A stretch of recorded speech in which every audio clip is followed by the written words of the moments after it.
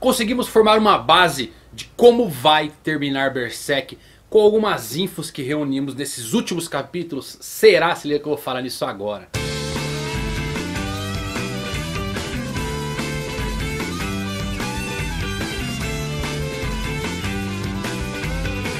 Fala galera, eu vou difusar aqui mais um vídeo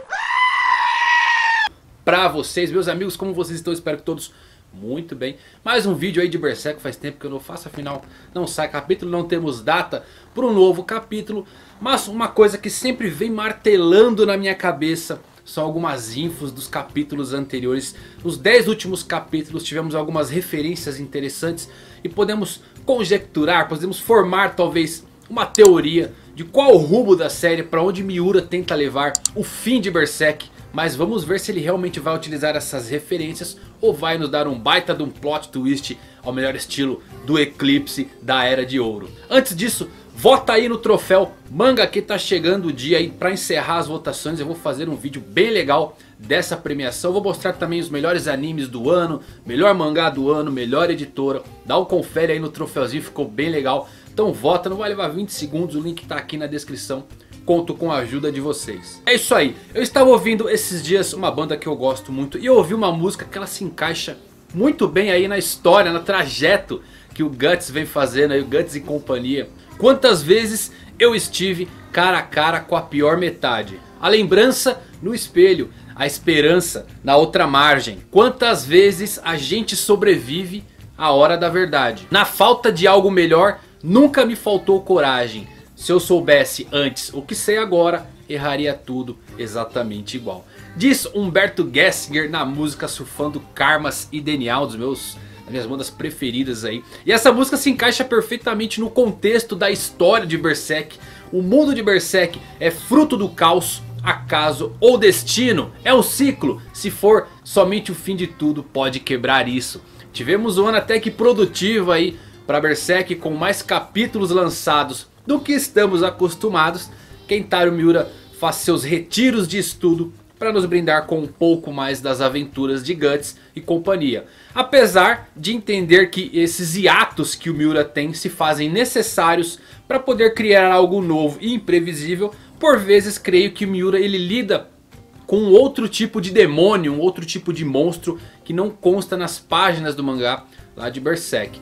Esse demônio ou esse mal se você quiser assim chamar, é, é, um bloqueio criativo. Mas veja bem, não quero dizer que Miura tenha falta de criatividade, longe disso com a sua obra. Mas que talvez lhe falte as rédeas necessárias para guiar a história para fora do que mais tememos, o Deus Ex Machina. Como fazer por exemplo Guts e companhia lutar contra God Hand.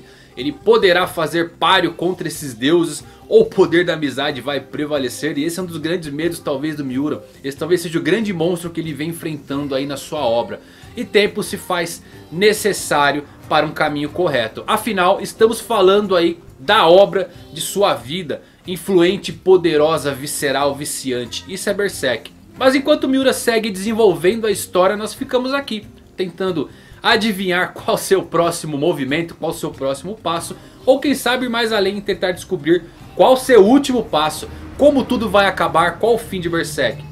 Pois bem, essa teoria, como eu já disse, eu vinha amadurecendo há algum tempo. Uma das coisas que mais me chamou a atenção e o que eu tentei fazer diversas ligações foi a Árvore do Mundo e a Road of Dragons, a Estrada dos Dragões, citadas aí pelo mago Godfrey. O caminho para o abismo, o lugar mais profundo do plano astral e é onde reside a ideia do mal, o ser divino que controla o destino da humanidade. E basicamente é sobre isso que vamos falar agora, destino. Segundo a história de Berserk, tudo o que acontece está escrito e destinado a acontecer. Tudo foi precipitado pela ideia do mal. E por isso, por exemplo, não vemos movimentos da mão divina, da mão de Deus para tentar impedir Guts na sua jornada. Ou mesmo tentar impedir o Skull Knight. Tudo já está escrito e eles sabem qual o destino de todos. Se lembram da introdução que aparece no anime da história? Temos o seguinte texto que cita o seguinte. Nesse mundo o destino das pessoas é controlado por uma entidade transcendental ou uma lei. A mão de Deus paira sobre nós? Ao menos é verdade que o homem não tem controle nem sob a sua vontade. E o arco fantasia tivemos uma mudança interessante de ares. Referências às mitologias nórdicas se tornaram bem evidentes com a morte de Ganishka e o nascimento aí da árvore do mundo. A criação da árvore espiral do mundo é o marco zero da explosão do mundo astral. Explicada aí pelo mago Gedfrin como a fonte do interstício global que liga os dois mundos, astral e físico. E ele descreve isso como uma grande fissura, um furo semelhante aos criados pelos Berrelites. E o que impede a total sobreposição do mundo astral ao mundo físico são as árvores espirituais espalhadas pelo mundo como a árvore lá da flora. Esses locais servem como parasitas para impedir que a árvore do mundo aumente as suas raízes. Por isso o Griffith ele tem atacado esses locais e a árvore do mundo é inegavelmente muito parecida com a árvore... Árvore... somos nós. E essa árvore do mundo é muito parecida com a árvore Yggdrasil localizada no centro do universo da mitologia nórdica. Ligava os nove mundos da cosmologia nórdica lá, cujas raízes mais profundas estão situadas em Nilfheim, um mundo sombrio onde ficavam várias árvores assombradas e o solo não se produzia nada. Escuridão profunda com gigantes e terríveis monstros. Essa é a árvore da Yggdrasil e vimos o Griffith caminhando aí pelos galhos da árvore do mundo, é, se movendo rapidamente de um lugar ao outro, dando a entender que sim, está ligado a vários pontos do mundo físico e astral, você pode cruzar esses planos. E é muito parecido com os caminhos do galho da Yggdrasil também. E com isso podemos chegar a alguns pontos parecidos com a mitologia nórdica. Como por exemplo a Road of Dragons, o caminho que leva ao abismo é muito parecido com a Bifrost ou Bifrost se assim preferir. A ponte que estabelecia a ligação entre os mundos nórdicos. Mas e se levássemos essas referências a um cenário maior e um pouco mais longe possível da mitologia nórdica? O fim de tudo, a queda dos deuses e dos monstros, o Ragnarok. O Ragnarok é um evento profético que representaria o fim do mundo de acordo com essa mitologia.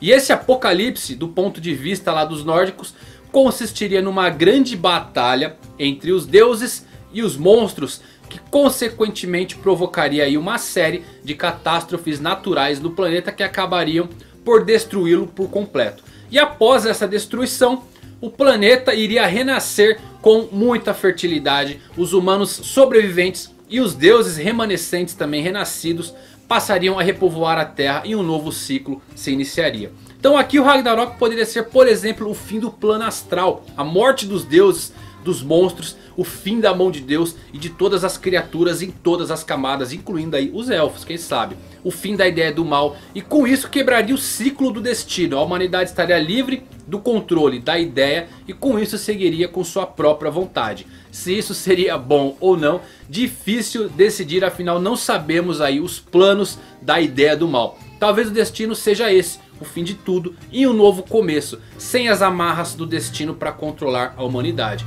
É uma possibilidade bem interessante e bem provável. E como isso vai acontecer? Acredito que nem Miura chegou nessa parte ainda final. Ele tem que lidar com a mão de Deus e vai ser um problemão a ser resolvido. Agora imaginem as aventuras para dentro da estrada dos dragões. Até o fim, até o abismo. Somente alguém que caminha fora das linhas do controle do destino poderia fazer essa jornada. E esse alguém é Guts, já sabemos. Na mesma canção que citei no início do Humberto Gessinger, ele também diz o seguinte. Se eu soubesse antes o que sei agora, eu iria embora antes do final. Eu, eu entendi a referência. Então vamos ver o que aguarda aí o Guts. Vou esperar sair mais alguns capítulos que aí eu acho que consigo fazer uma teoria bem completinha para vocês pra gente trazer alguns pontos de ligações. Eu acho que o, o, Miura não vai deixar tão escancarado um final tão parecido com a mitologia nórdica, lógico, porque ele vai construir o seu mundo é, se abrindo em ramificações. As referências de Berserk sempre foram muito difíceis de se encontrar, já fiz alguns vídeos bem legais puxando alguma coisa de outras obras. É, mas agora da mitologia nórdica, principalmente da árvore, da Yggdrasil, da Road of Dragons, tá bem parecida com essa mitologia nórdica. Então pode ser sim que ele utilize o conceito do Ragnarok para dar fim ao ciclo do destino e quebrar as amarras da humanidade. O que, que vocês acham? Deixa nos comentários aí como você acha que vai terminar Berserk. Como o Guts vai conseguir enfrentar a mão divina? Será que ele vai ser consumido pela armadura? Será que vai prevalecer o poder da amizade? O que, que vai acontecer? É muito difícil tentar teorizar um simples passo adiante. Eu acho que por isso que o Miura demora um pouquinho para soltar os capítulos. Mas é isso aí galera, espero que vocês tenham gostado, se curtiu, manda aquele like, compartilha, chama os amigos, porque o canal é de vocês. Fiquem ligados, hein, até os próximos vídeos e fui.